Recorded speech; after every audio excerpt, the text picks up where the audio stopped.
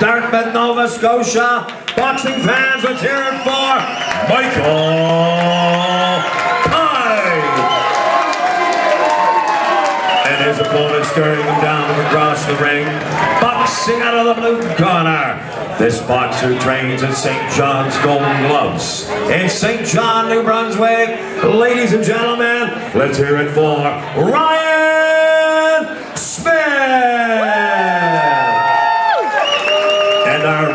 in charge of the bout after the bell is Joey McDowell.